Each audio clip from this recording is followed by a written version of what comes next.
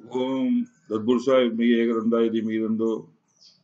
விநாயக பிரசோடியார் ஓம் பூதநாயகத்தின் மிக பவனதாய் மீதந்தோ சர்த்த பிரசோடியார் குலதெய்வமான சுக்ககுதர் சர்த்தை வணங்கி இந்த குரு பயிற்சி பலன்களை ஆரம்பிக்கிறேன். இப்போ வந்து விருஷப துஜாய் உத்மேகர் நீ விவசாய தீபிகி நன்னோ குரு பிரசோதியார். இந்த குரு பகவான் தனுசு ராசிக்குள்ளே இருபதாம் தேதி பத்தாவது மாதம் ரெண்டாயிரத்தி பத்தொன்பதுல வர தனுசு ராசிக்குள்ள வர குரு பகவான் என்ன செய்வார் அப்படின்னு பாத்தீங்கன்னா ஜென்ம குரு ராமர் சீதையை வனவாசம் வைத்ததும் அதாவது ஜென்மத்திலே குரு இருக்கும் போது தன் மனைவி சீதையை வனவாசத்துல வந்து கூட்டிட்டு போயிருக்கார் ராமர் அப்படிங்கிற மாதிரி ஒரு வழக்கு. இது வந்து ஒரு கஷ்ட காலம் போதாத காலம் சகோதரர் கூட சண்டை வீண் பிரச்சனைகள் தந்தையுடன் மனத்தகராறு வரும் அப்படின்னு சொல்லி சொல்லக்கூடிய ஒரு பாடலும் இதுவும் இருக்குது இன்னொன்னு வந்து குரு பகவான் வந்து தவளை தண்ணிக்குள்ள இழுக்க ஓனா வேலைக்குள்ள இழுக்க அப்படிங்கிற மாதிரி ஒரு நிலைமை இருக்கும். வெளிநாடு வாய்ப்புகளை தேடிக்கொண்டிருக்கிறவருக்கு வெளிநாடு வாய்ப்புகள் தேடி வரும். வெளிநாடு வேலை வெளிநாடு செல்லக்கூடிய பயணம் அதிகமா இருக்கும். இப்போது வந்து குரு வந்து தனிச்சிருக்கும் போது உள்ள பலனை விட குரு வந்து சில கிரகங்களோட சேர்ந்து இருக்கும் போது பலன் வந்து அதிகம். இப்ப குரு வந்து இங்க சனி பகவான் கேதுவோட சேர்ந்துருக்காரு. குரு சனி கேது சேரும் போது உங்களுக்கு கூட்டணி பலம். இது வந்து குரு சண்டாள யோகம். அதாவது நம்மளோட குறைஞ்ச காசில் இருக்கிறவங்க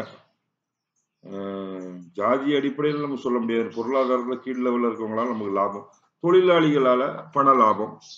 இப்போ வந்து ஒருத்தர் ஆப்பிரிக்கன் நாடுகளுக்கு செல்லலாம். இல்லை முஸ்லீம் நாடுகளுக்கு நம்ம செல்லலாம்.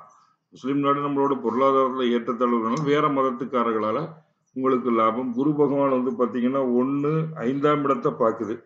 இப்போ புத்திரர்கள் சுமாராக படிக்கக்கூடிய நம்ம புத்திரர்கள் சிறப்பாக படித்து நல்ல மார்க் எடுப்பாங்க அப்படிங்கிறது மறுக்க முடியாத உண்மை. அப்புறம் வந்து ஏழாம் இடம் மனைவி ஸ்தானத்தை பார்க்குது. மனைவி ஸ்தானம் மனைவியால் லாபங்கள் ஒன்பதாம் இடம். இது மச்சினை தந்தையார். தந்தையாருக்கு வந்து சிறப்பான காலம். தந்தையார் மூலம் உங்களுக்கு பணம் வர வரலாம் தந்தையாருக்கு சிறப்பாக ஒரு காலமாக இருக்கும். இப்ப குரு ராசியில கேது. கேதுவில் ரெண்டாயிரத்தி இருபது ரெண்டாயிரத்தி பத்தொன்பது டிசம்பர் இருபதாம் தேதி வரைக்கும் தான் கேது ராசியில வந்து குரு பகவான் இருக்காரு. வேகமா கடந்துடுறாரு அதாவது பத்து பதினொன்று பன்னெண்டு ரெண்டு மாதங்கள்ல தான் அங்க இருக்காரு. ரெண்டு மாதத்துல குரு பகவான் இருக்கும்போது கேது அப்படிங்கிறது மருத்துவ தொழில் பண்றவங்க. மருத்துவ தொழில் பண்ணுறவங்க இப்போ இந்த குதிரை வியாபாரம் பண்ணுறவங்க மாடுக்கு எருது பசு இந்த மாதிரி வியாபாரம் பண்ணுறவங்க கால்நடைகள் குதிரை இது பண்ணுறவங்களுக்கு சிறப்பான லாபம். வெளிநாட்டில் இருக்கவங்களுக்கு நிறைய பண வரவுகள் வரும். ஊர் திரும்புறதுக்கான வாய்ப்புகளும் வரும். இப்போ டிசம்பர் இருபதுக்கு மேலே புராட நட்சத்திரத்திலே இருக்கும்போது குரு பகவான் இருக்கும்போது என்ன ஆகும்னா மனைவியால் பண்ண லாபம் ஏழாம் இடத்தை இங்க பாக்குது அப்ப அங்க பார்க்கும்போது ராகு அதாவது அனாமத்து கேஸ் உங்க மனைவி வழியில வந்து சொத்து பத்தி எதுவும் வந்துன்னா நமக்கு வரும். கொடுக்கல் வாங்கல் தொழில் நல்லா இருக்கும். இப்போ மேக்கப்பு பியூட்டிஷியன் நடிகர் இவங்களுக்கு சிறப்பான ஒரு எதிர்காலம் இருக்கும். அப்புறம் மூணாவது மாசம் உத்திராட நட்சத்திரம். அதி அதாவது அ- அதிசாரம் அதிசாரம் வருது. உத்திராடத்துல மகர ராசிக்கு போகுது. இப்ப இரண்டாம் இடத்திலே குரு இருக்கும்போது தனஸ்தானம் தனஸ்தானத்துல குரு இருக்கு. பழைய கடன் எல்லாம் அடைக்கலாம். இப்போ குரு வந்து அங்கே பார்த்தீங்கன்னா ஆறாம் இடம் எட்டாம் இடம் பன்னெண்டாம் இடத்தை பார்க்குது புது கடன் வாங்கி வீடு கட்டலாம். தனுசு ராசிக்காரங்களுக்கு சுக்கரனில் இருக்கும்போது வீடு கட்டுற யோகம் வரும். அதாவது டிசம்பர்லேருந்து மூணாவது மாதம் இல்லைன்னா பழைய வீட்டில் வந்து பராமரிப்பு செலவு. கேதுவும் சு- அங்கே நிற்கிறதுனால பழைய வீடை நீங்கள் வந்து பராமரிக்கிறதுக்கான செலவு. அதை வந்து ஒரு ஆல்ட்ரு பண்ணி பண்ணலாம். புது வீடு கட்டுறதை விட சுக்கிரன் போது கெட்டடத்துக்கு அதிபதி. ஆல்டர் பண்ற செலவுகள் வரலாம். மருது இல்லைன்னா மறைவிக்கு மருத்துவ செலவு வரும். அதனால நீங்க ஆல்டர் பண்ணி கட்டக்கூடிய வேலைகளை நீங்க செய்யலாம். இப்ப குரு பகவான் அஹ், ஜென்ம ராசியிலே இருக்குதே தனுசு ராசியிலே. நாம எந்த கோயிலை வழிபடலாம்?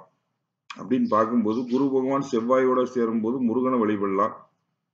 குரு பகவான் பூராடத்தில் சேரும்போது தனுசு ராசிக்காரங்க வழிபட வேண்டியது சிவனை.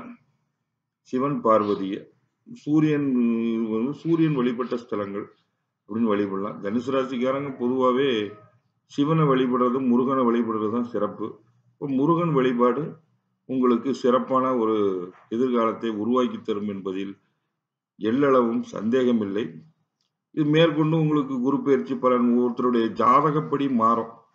ஜாதகப்படி குரு பயிற்சி பலன்கள் வந்து கொஞ்சம் கொஞ்சம் சேஞ்ச் ஆகும். அப்போ சிவப்பு பூ பூக்கிற மரங்கள் செம்பருத்தி செவ்வரளி பூக்கிற மரங்களை நம்ம வீட்டு முன்னால் வச்சு பராமரிக்கலாம்.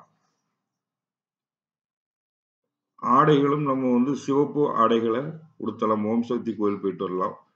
இந்த மாதிரி. இதில் உங்களுக்கு எதுவும் சந்தேகம் இருந்தால் நீங்கள் தொடர்பு கொள்ள வேண்டிய தொலைபேசி எண் எண்பத்தி ரெண்டு இருபது எழுபத்தஞ்சி இருபத்தி ரெண்டு எண்பத்தி எட்டு. ஏன்னா தொண்ணூற்றி எட்டு அறுநூற்றி ஐம்பத்தொன்று முப்பத்தொம்போது ஐநூற்றி பன்னிரெண்டு. இது என்னுடைய வாட்ஸ்அப் நம்பர். உங்கள் ஜாதகங்களை அனுப்புனா இந்த ஜாதகத்துக்கு எப்படி இருக்குது அப்படிங்கிறத நம்ம சொல்லலாம்.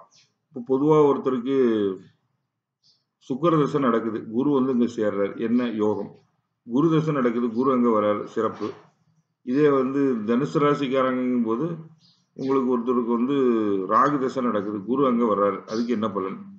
இதை வந்து நம்ம ஜாதகத்தை வச்சு அவர் ராகு நிற்கிற இடம் அவர் பார்க்குற இடம் ராகு வந்துட்டு சேர்க்கை ராகுடைய ஸ்தானம் இதெல்லாம் வந்து பார்த்து தான் சொல்ல முடியும். ஜாதகத்தை அனுப்புனீங்கன்னா உங்களுக்கு ஒரு சிறப்பான பலனை என்னால் சொல்ல முடியும். நன்றி வணக்கம்.